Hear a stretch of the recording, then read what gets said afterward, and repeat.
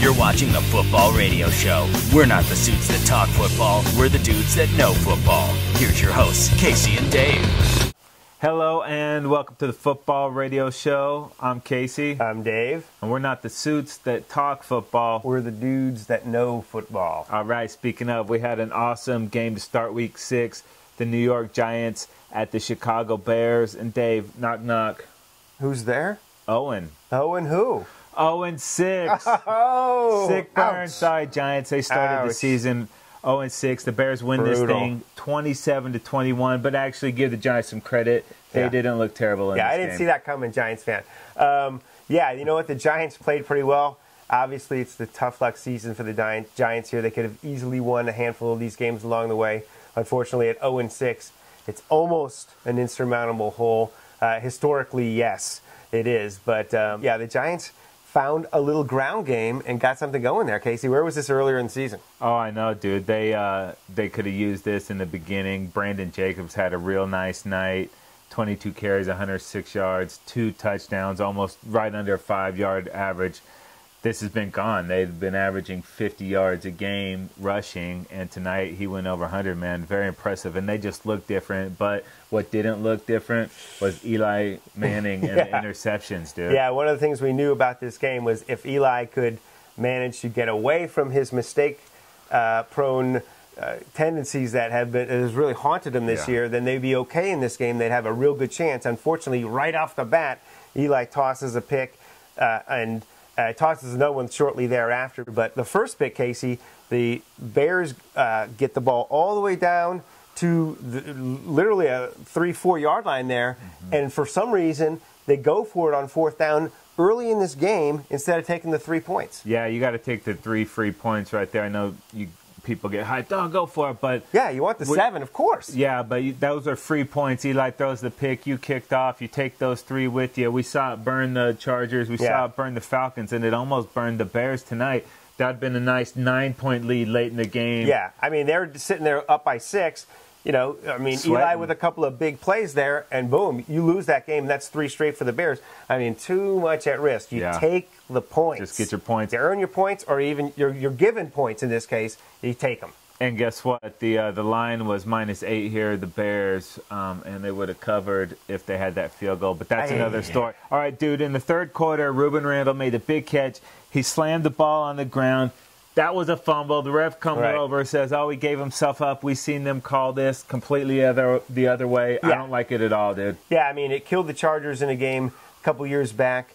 Uh, very first catch of uh, Richard Goodman's career is a first down. He excited, and he gets up. He leaves the ball on the ground. It's a turnover. It's the ex- it's virtually the exact same play, and they ruled that a fumble.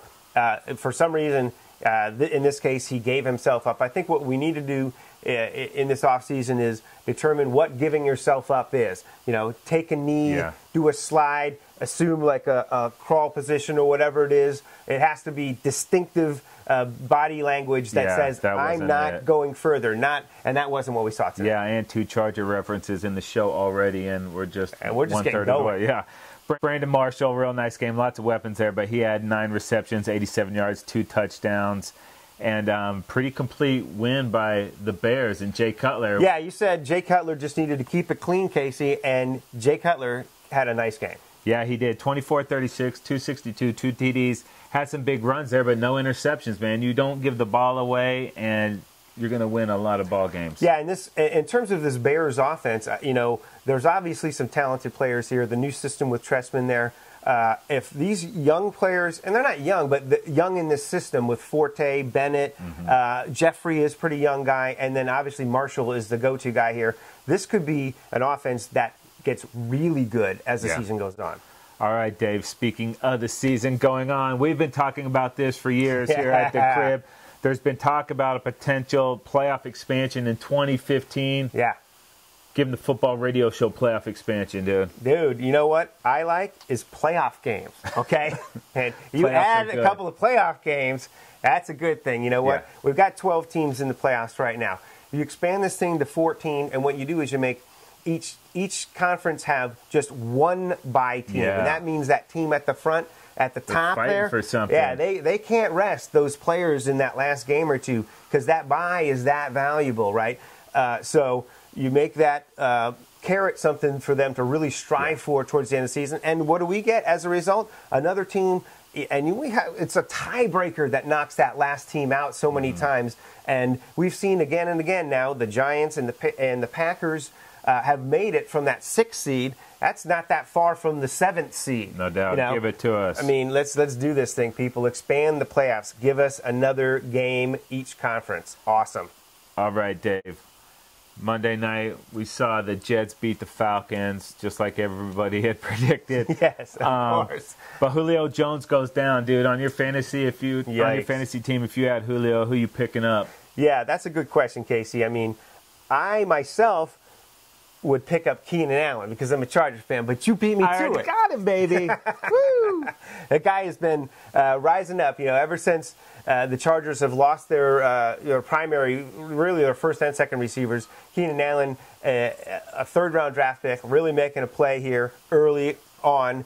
Uh, to be a go-to guy, a playmaker, and I think uh, you know you, you scored on that one, Casey. I Yeah. think you're you're going to be in business with that guy. There's other players too, Casey. Yeah, Marlon Brown for the Ravens. They got a good matchup against Green Bay. He's only got 14 receptions, but three of those are touchdowns.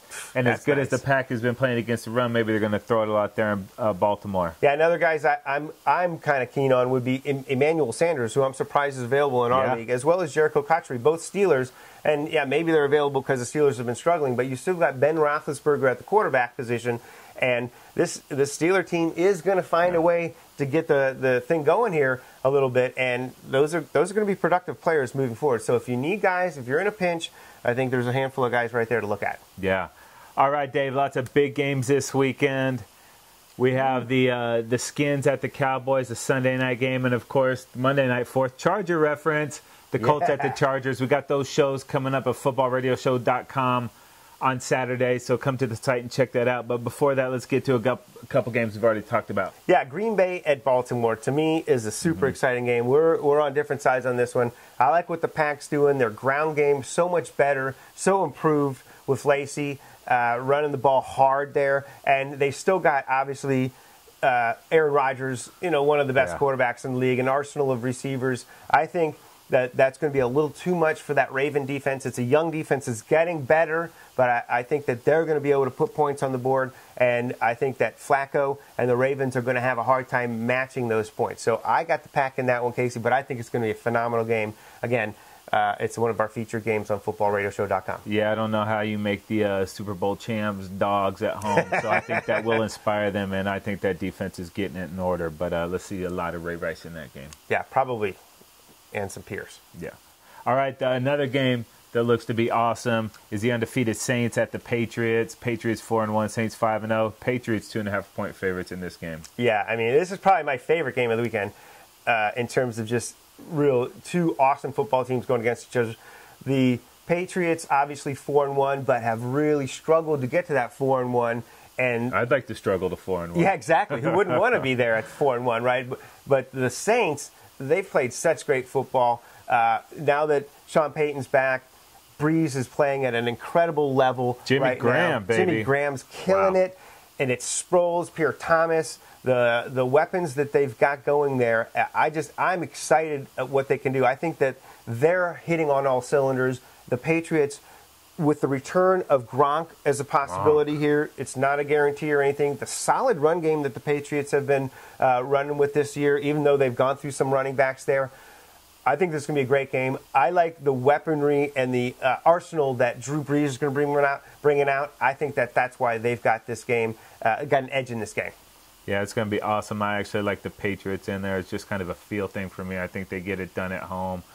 I think they're sick of everybody talking about how ugly they are at winning surprise me. games.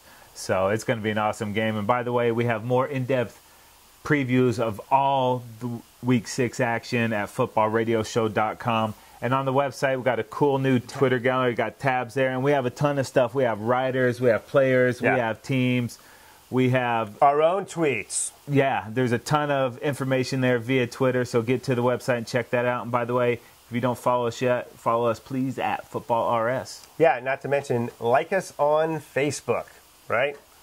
And subscribe to the YouTube channel, which you're watching right here at Football Radio Show. All right, if you have any questions and you want to chat us up, hit us on footballradioshow at gmail.com. We're listening. Yeah, it's just that simple. Yeah. All right, get to the website, check out all the week six previews. I'm Casey Mallon. I'm Dave Hewitt. We'll catch you next time.